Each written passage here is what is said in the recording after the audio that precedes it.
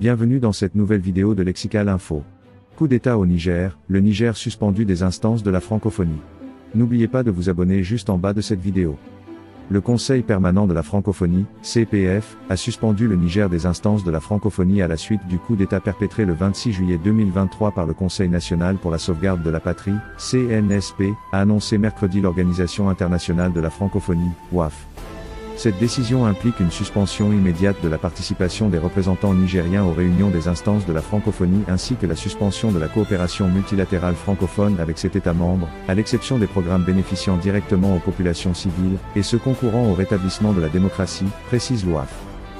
Le CPF a également demandé la libération sans condition du président Mohamed Bazoum, de sa famille et des membres de son gouvernement actuellement séquestrés. Il exige aussi le rétablissement rapide de l'ordre constitutionnel et de la démocratie au Niger tout en appelant la junte au pouvoir à établir un calendrier de sortie de transition limité dans le temps.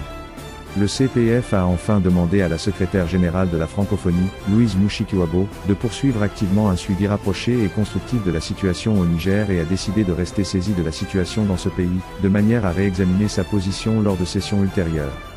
L'OAF compte actuellement 54 États et gouvernements membres, 7 membres associés et 27 observateurs.